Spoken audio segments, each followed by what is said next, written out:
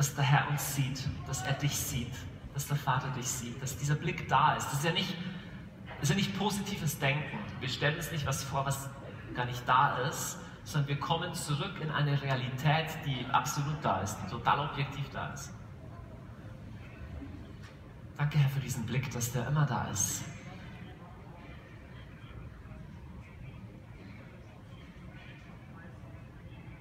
Und wenn du willst, dann kannst du einfach mal laut nachbeten. Das hat nichts mit Manipulation zu tun, sondern es ist eine Hilfestellung. Manchmal weiß man nicht genau, wie man was in Worte fassen soll. Nur für die von euch ist das, ansonsten kannst du auf jede andere Art und Weise mitbeten oder auch gar nicht mitbeten. Herr, ich will leben unter deinem Blick. Und ich spreche heute mit der Menschenfurcht.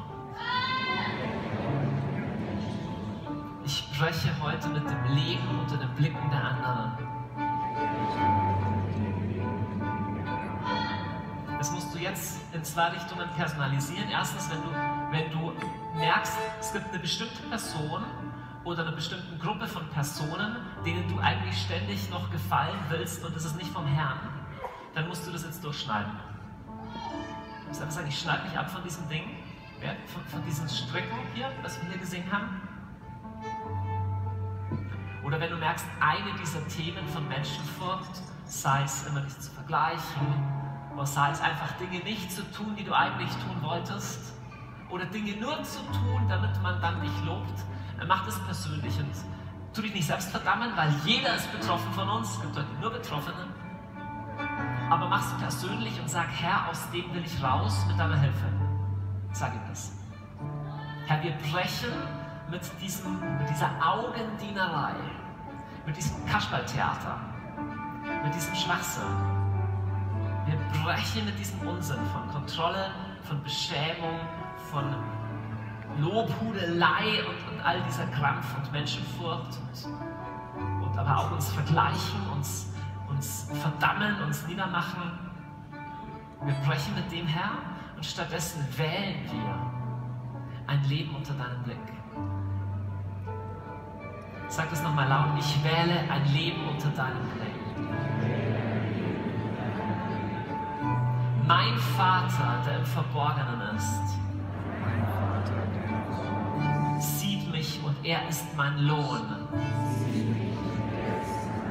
Herr, dein Blick ist mein Lohn.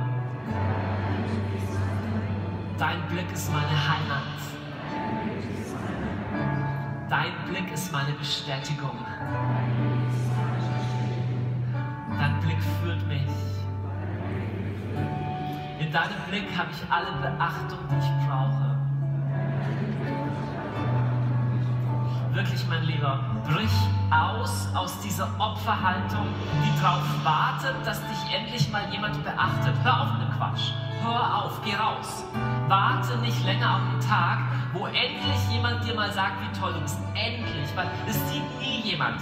Freunde, menschliche Liebe wird nie reichen.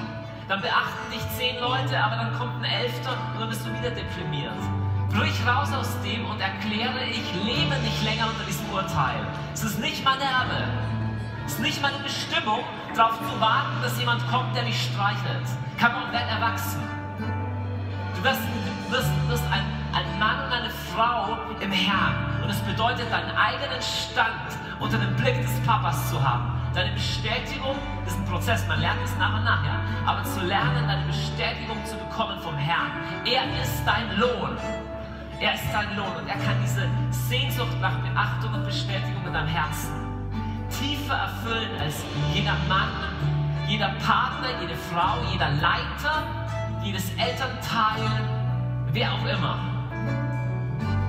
Er ist dein Papa und er ist zufrieden mit dir und er liebt dich und er ist dein Lohn und in diesem Blick ist alles, was du brauchst. In diesem Blick ist alles, was du brauchst für jeden Augenblick. Und wir empfangen diesen Blick her. Wir empfangen diesen Blick her. Wir stellen uns unter diesen Blick. Wir stellen uns unter diesen Blick her. Wir genießen diesen Blick. Stellen uns unter deinen Blick, Vater. あ。